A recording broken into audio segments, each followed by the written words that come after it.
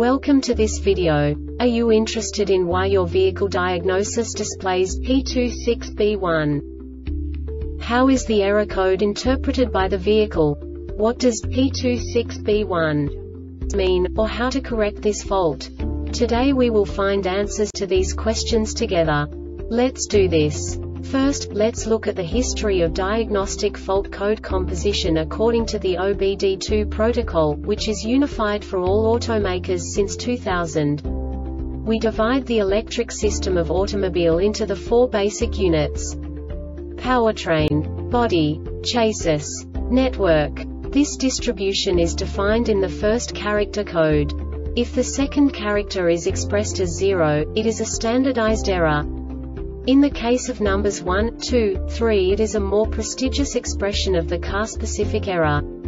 The third character specifies a subset of errors. The distribution shown is valid only for the standardized DTC code. Only the last two characters define the specific fault of the group. Let's not forget that such a division is valid only if the other character code is expressed by the number 0.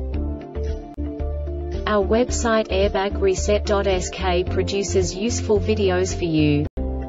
You do not have to go through the OBD2 protocol anymore to know how to troubleshoot any car breakdown. You will find all the diagnostic codes that can be diagnosed in a Alfa Romeo vehicles. Also many other useful things. The following demonstration will help you look into the world of software for car control units. You unbelievably can move the video a bit further. The error code is split into two bytes consisting of 16 bits. One bit is the basic unit that each computer works with. The bit has two logical states. 0, low level, 1, high level. By combining the first two bits, the basic character of the error code is expressed. The next two bits again determine the second character. The last beat styles of the first byte define the third character of the code. The second byte is composed of a combination of 8 bits. The first 4 bits determine the fourth character of the code. And the combination of the last 4 bits defines the fifth character. A single byte conceals 256 possible combinations. We now know in what way the diagnostic tool translates the received information into a more comprehensible format.